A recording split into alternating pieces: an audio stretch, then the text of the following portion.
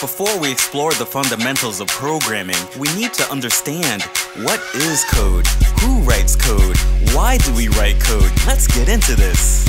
What's code? When you tell a computer to do what it do to reach a goal, that's code. What's code? When you solve problems with the stuff that you wrote, turn to ones and O's. What's code? Nothing but instructions, bunch of types, loops, and functions.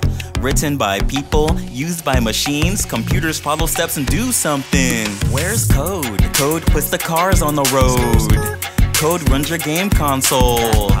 Code in the medical devices, helping people young and old. Who codes? Brilliant souls write code. Feeling like a maid whipping spells on the scroll. Feeling like a chef recipes on the roll. Like a songwriter, Donald Glover with a nose. Do you like solving problems? Yeah.